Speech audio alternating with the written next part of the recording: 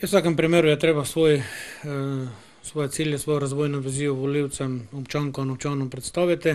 Nekako po dveh, mandatih pa sem ko sem pač bil edini kandidat, pa sem si tudi sam želel, da so letos ali pa da se zgodijo volitve, pa tudi iz preprostega razloga, da se nekako človek stehta, da približno veš, ali je tista podpora, ki ti jo občani dajejo iz dneva v dan navidezna ali pa je dejansko, taka realna in ti potem tak rezultat tudi da, bi rekel, tudi eno dobro osnovo za delo naprej.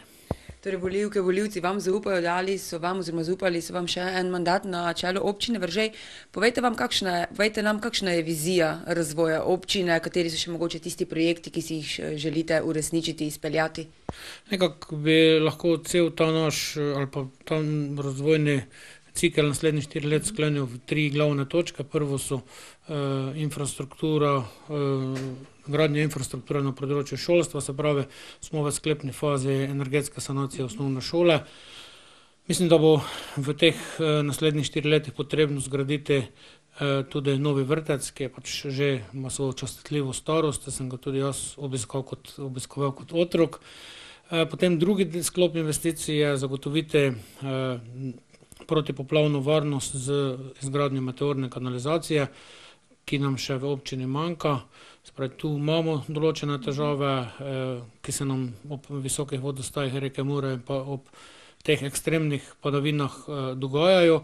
In seveda sočasno s tem potem še obnoviti te tri dele, naselja Veržeja, se pravi Osredka, in ostalih ulic v tej smeri, ki so še pač trenutno, niso bile obnovljene, odkar je naša občina samostojna.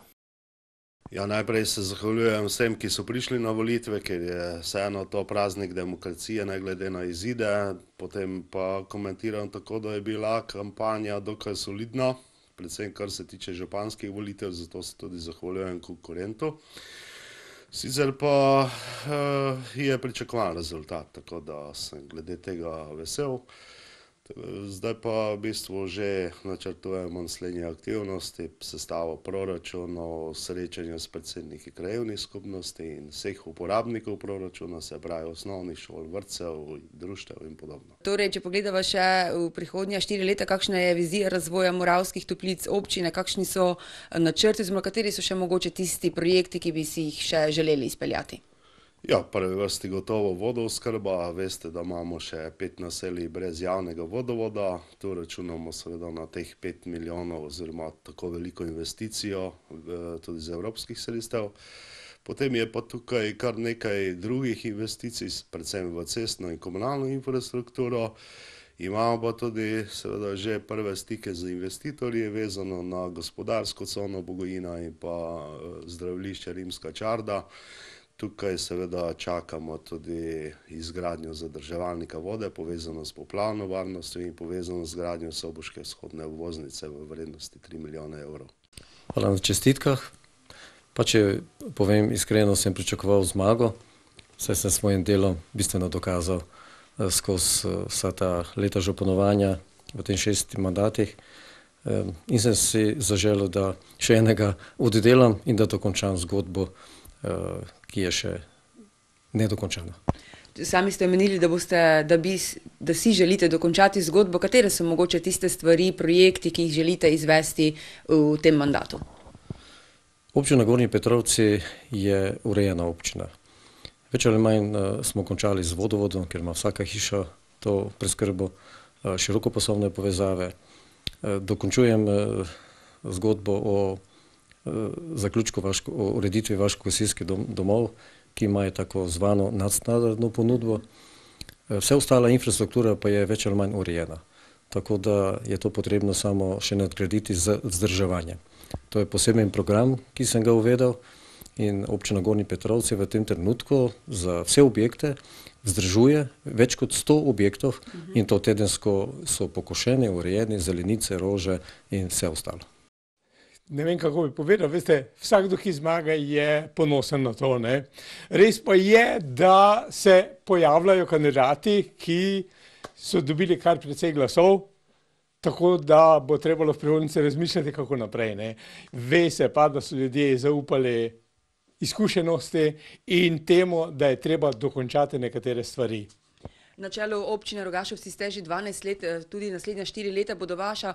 Eh, Povejte, kakšni so načrti za naslednja štiri leta, oziroma katera so še tista področja, stvari, ki jih je potrebno v vaši občini urediti, katere stvari vam mogoče povzročajo pa največ težav?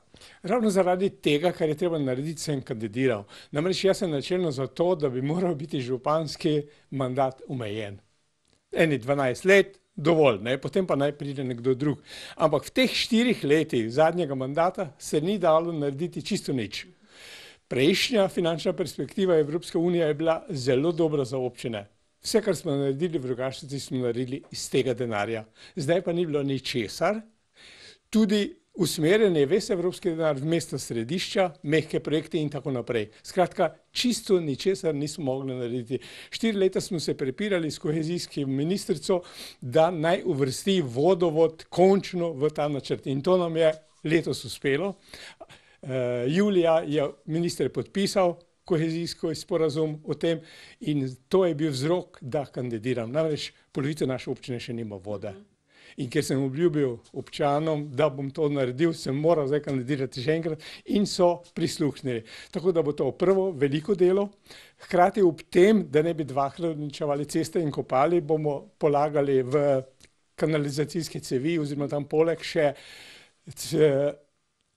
kako bi rekel, cevi za širokopasovno omrežje. Namreč pri nas je slab sprejem ne, in zdaj je Junckerov sklad podpira razvoj tega tam, kjer ni komercialnega interesa.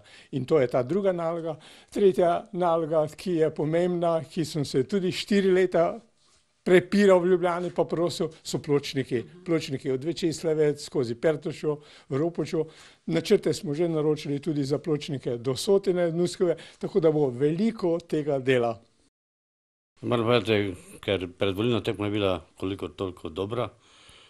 Mi da osebno se nismo izpostavljali. Zdaj, kar so pa štabe drugi delali, to pa ne vem, ker Facebooka nimam, ene komentirajo tako, druge drugače. Meni je vseeno, danes je navaden dan, tudi že včeraj je bil navaden dan. Mi bomo v občini naprej sodelovali. Do sedaj nismo imeli svetniških skupin in želim, da jih tudi naprej imamo. Nas so ljudje izvolili zaradi tega, da nekaj razvoj napravimo za občino, ne pa da gledamo samo svoje položaje. Kot sem že prej dejal, jaz ne bi nikdar kandidiral več, sem z 20 leti končal, vendar je nažalost prišlo tako, da je potem moj naslednik umrl in potem sem to nadaljeval. Zdaj so prišli do ene projekte nove in to je potrebno tudi dokončati. Je pa dejstvo, volilna baza se je menjala, jaz sem starejši, mlajši so prišli na položaj in uh, kot smo imeli geslo, je tudi enkrat čas za zamenjavo. Mogoče samo še vprašanje, sami ste dejali, da so prišli projekti, ki si jih želite dokončati. Uh, kakšno smer bo šla občina Pucunci, kaj si želite v teh štirih letih še narediti? Kar se tiče komunale, predvsem je to uh, kanalizacija, vodovodno mreže imam zgrajeno v vse 23 vasi, razen neke popravke, ki pa, pa bodo zgrajene tudi v drugem, v tistem obdobju eh, tega pomorskega vodovoda, nekje v višini 8 milijonov mi moramo neke stvari, to se pomeni, se vi popravite ali nadomestite, kajte takrat so bile zgrajene slabe in gorički del eh, pač ne dobi vode, ker je potrebno to vedno sanirati, vsaj terensko dvakrat. Ena mreža je potrebno prenoviti, zaradi tega, ker smo takrat, ko smo gradili, predvsem bili radi, da napravimo vodo, uh -huh. vendar pa je potrebno tam narediti tudi takšno, da bo lahko tudi hidratno mreže.